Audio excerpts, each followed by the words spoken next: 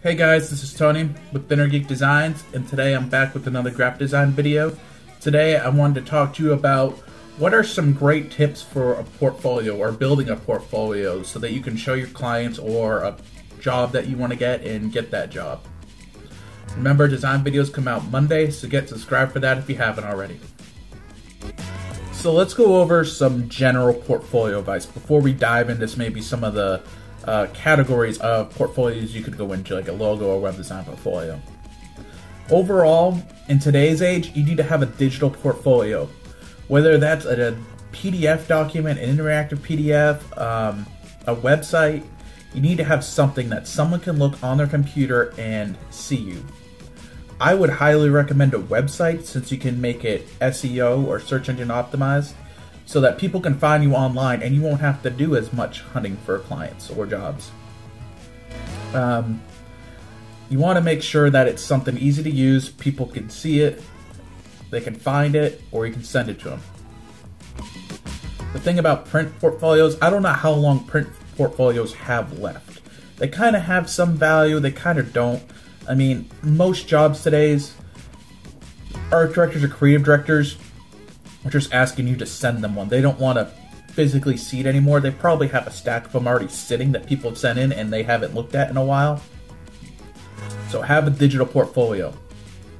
If you want some free methods of building a digital portfolio, I would look at Wix. I would look at Square or yeah, Squarespace. I think has a free option. They might. Um, WordPress has a free option that you could build a portfolio website off of. Um, Behance, you could use a Behance website. Um, you could kind of use an Instagram. I wouldn't say an Instagram is a portfolio. I would mainly stick with Behance, WordPress, and Wix.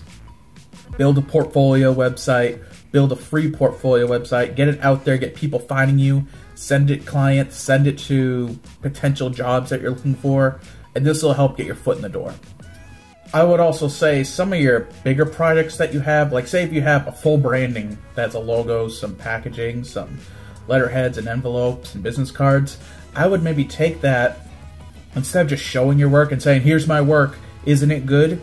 Make it like a testimonial and make it uh, a full um, case study. Say what happened with this project, why did the client need this, what were you providing, how would you provide it, what were the steps you took Show some of your process work with it. Make it a full story versus just showing your work and saying, give me money. That doesn't work today. People aren't accepting that. Don't do that. If you do that, you're going to get short term gains and then you're going to get axed. No one's going to want to work with you anymore.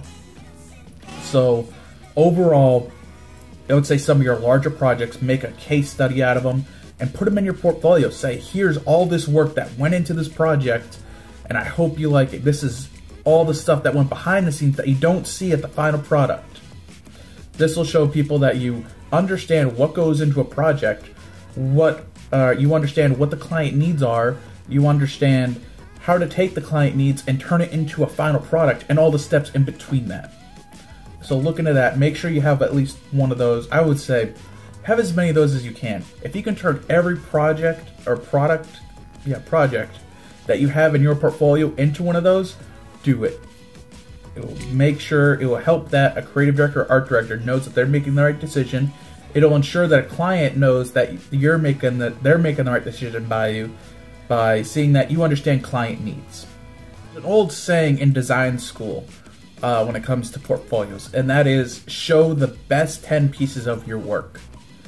They said this to me when I was in school. I didn't fully grasp it. I had way too many art pieces of work. Um, I don't believe in that saying, and I don't think it holds up today anymore. A client and an art director want to see full body work, not just 10 pieces. How can you get yourself down to 10 pieces and say, This is my body of work, this is what I'm capable of? That's not gonna fly. You need to show that you can do not only quality, but quantity maybe not all that work is done in one year, but maybe it's done over however many years you're in the industry. Say if you're in industry, I don't know, like me, I'm in the industry for over five years. I'm going closer to 10 now. Um, you want to show that you have had that body work to show. If you only have 10 pieces of work and you've worked in the industry for 10 years, something's not right. You're missing something. There's there's a link that's not there that needs to be there. Um, I think you need to show as much work, but as much quality work as you can. You just don't want to show work just to show work. Then you're just wasting everyone's time. So maybe look at some other uh, portfolios, see how much work they're showing. I would say 10's the minimum. Today, 10 is the minimum. Go as high as you want and as you feel that shows your true body work, your true ability as a designer. Also, if you don't have many clients or many previous work that you could add to this, um, I would think about looking at doing what's called a brainstorming session and making up a company and building up all this work for this company and putting in your portfolio. Just when you go for an interview of a client or a customer, admit it. Don't lie and say it's a real company. That'll backfire on you one way or another. So admit that it's a fake company. Admit that it was a practice session. You're trying to get your foot in the door. Um, and just be honest. People will accept that you're learning and this is your way of learning. So don't be afraid of doing that as well. Now let's dive into some of the details about if you're doing a specific design portfolio. So say if you want to only do logos and only branding, or if you only want to be a web designer, let's get into those types of portfolios. Let's start with logos since everyone thinks they're a logo designer or they can just do a logo.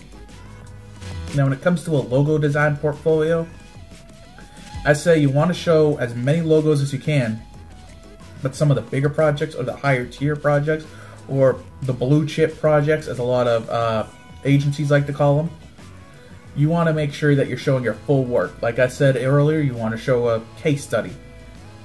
But something note with a logo design versus a web design or something. You want to show comps. You want to show your process. You want to show the logo in black and white and color. Logos do not always work in color. That's why you design them in black and white first, then go color. You want to show both of those. You want to show it being used in multiple applications. This does not mean Photoshop mock-ups of it on a sign that no one uses that I've seen everywhere. You want it to show on a letterhead, if you did it on a letterhead, a business card, if done on a business card, etc., etc.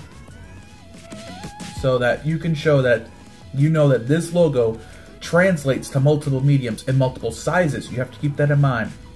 You make it a logo, to work on the size of a business card, all the way to the size of a billboard or bigger. So keep that in mind. Now let's talk about if you're doing a web design specific portfolio.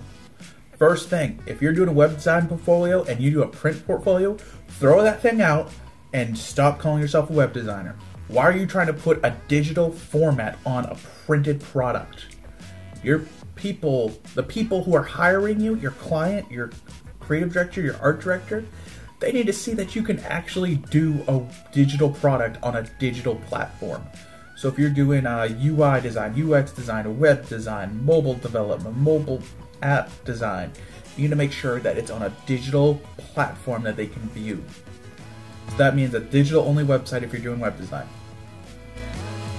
On top of that, you need to also show your process work on some of your bigger projects. Like I said on the previous one and the previous thing before that, you need to show your process work. People want to see it. This means wireframes. This means uh, why you chose the colors you did and uh, why you chose the layout you did. You want to show it work on multiple screens because if you're not making a website that's responsive today, you're doing it wrong and you shouldn't be doing that. All websites in 2018 should be responsive, period.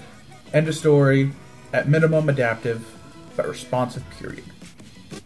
So, a web design portfolio needs to be digital, needs to show multiple screen sizes, need to show your work, wireframes, etc., layouts, different pages on your website, and also have a link to this product or this project.